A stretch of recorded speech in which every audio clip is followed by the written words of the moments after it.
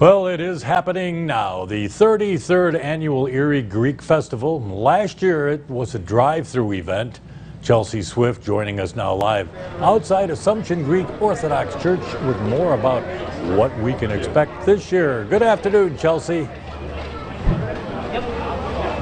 Hi, Dave. Greek Fest is just kicking off this year as a takeout event instead of the large gathering they had in 2019 and years previous. Greek Festival is a walkthrough or takeout event this year. Last year, Greek Fest was a drive-through only because of the pandemic. Organizers say they hope by bringing customers out of their cars, they can feel more part of the experience. 17 items are on the menu, including gyros, lamb dinners, Greek dogs, and much more. Organizers also say next year they will return to the full festival with music and large crowds, and you can see all these people getting their food right now.